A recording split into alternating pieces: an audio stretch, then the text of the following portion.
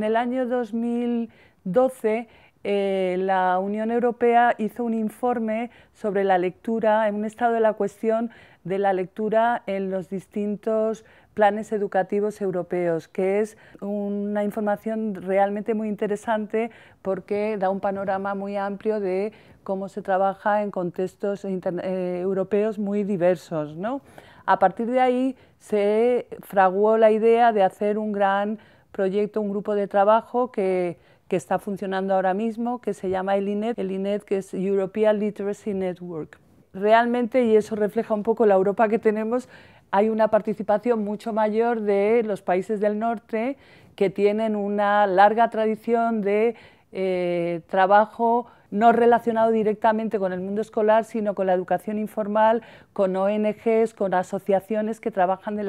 la, lectura y para nosotros era muy enriquecedor porque hay mucho que aprender de cosas, de trabajos que ya están hechos de todos estos países. Y me estoy refiriendo en concreto a Gran Bretaña, a países como Holanda, Alemania, los países escandinavos, que llevan trabajando muchos años en proyectos muy motivadores sobre lectura. En eso aprendimos mucho. Y después ellos ponían el foco, y también me parecía muy interesante, en que... Mm, como el concepto propio de lectura ha cambiado tanto, ellos están preocupados porque hay países donde nosotros en España todavía no hemos alcanzado el gasto educativo suficiente como para no pensar que podemos hacer más porque todavía no hemos hecho lo suficiente. Allí, en algunos países, sí han gastado lo suficiente, pero han visto que, que hay una necesidad de cambiar el foco porque muchos programas de, sobre la lectura o campañas nacionales o eh, programas de colaboración entre educación formal e informal van dirigidos precisamente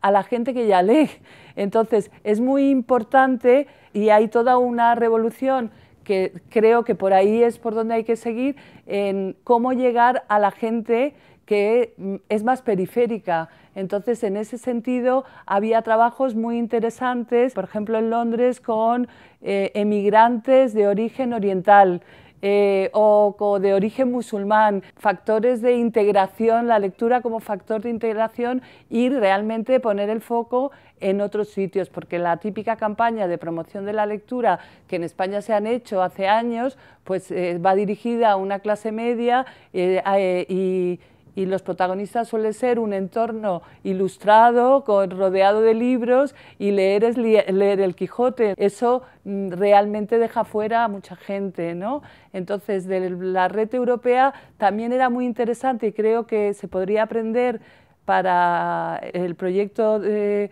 del ayuntamiento y de un proyecto en el que participen muchos agentes, en una de las misiones del INET es definir muy bien lo que es una buena práctica,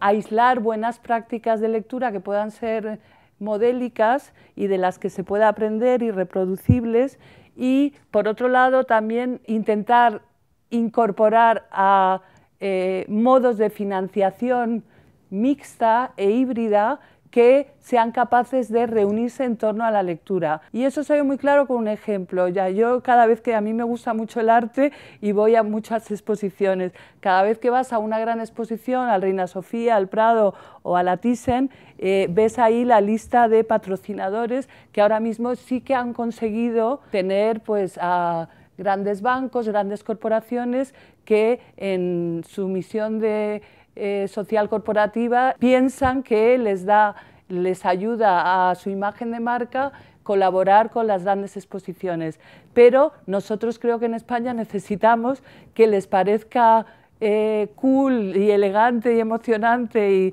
y, divertido o, que les ayude a mejorar su imagen de marca, colaborar en campañas alfabetizadoras. Eso, eso era una parte muy importante, es una parte muy importante de eh, los programas de, esta red del INET.